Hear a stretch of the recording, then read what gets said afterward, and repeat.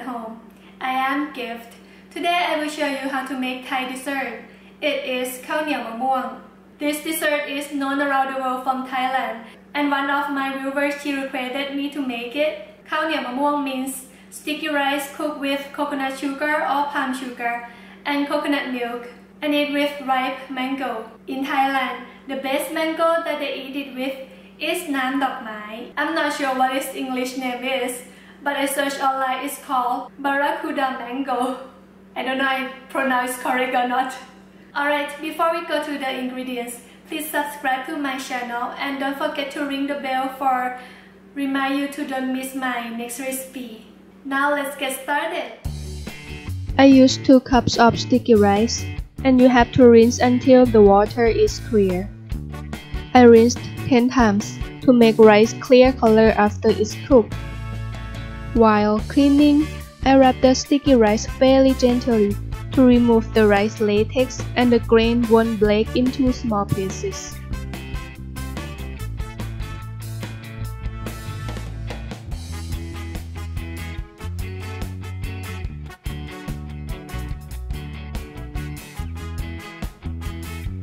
Next is soak the sticky rice for 3 hours. After 3 hours, you remove the water. Rice being soaked will be very sensitive. If you rinse it again, the rice will bake into small pieces and will not look nice after cooked.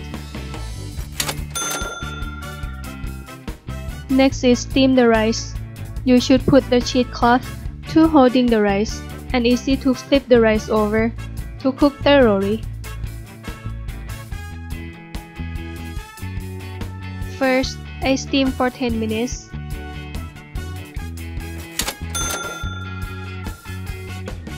After 10 minutes, you flip the bottom up, then steam again 5 minutes.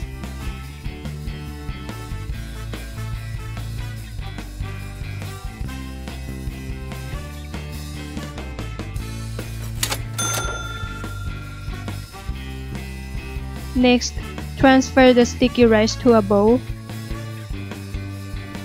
and then make the coconut milk sauce or น้ำกะทิมูนข้าวเหนียว I put the coconut milk into the pot.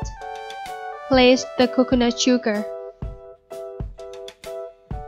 granulated sugar, and salt, stirring it on the heat until the sugar is dissolved.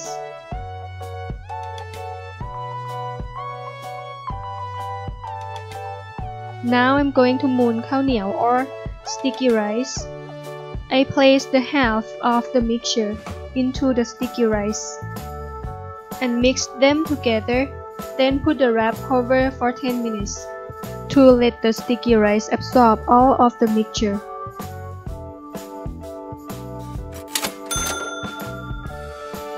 After 10 minutes, place all of the remaining mixture into a bowl and mix them together again. And do the same things. This time rest the sticky rice for 20 minutes. If it's still too wet, you can do it longer. Once it's ready, set it aside.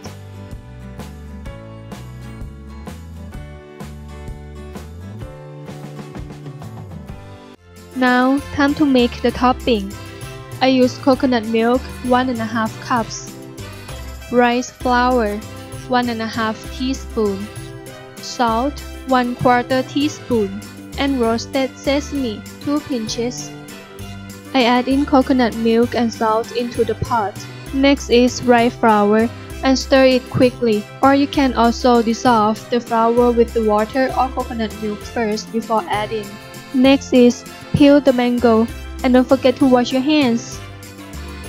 The hard part for me I couldn't find a sweet mango like in Thailand.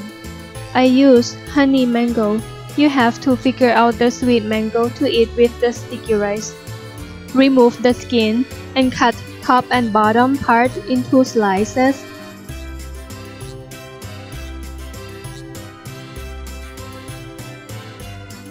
I usually save the mango around the seed. It's the richest part for me. Once everything's ready, place everything together on the plate. and cover with the topping. The roasted sesame is optional, but it's good to eat with sticky rice or khao niao moon. Now khanyeol mamuang is ready to serve. Alright, now time to taste taste. So I have to eat sticky rice and mango together.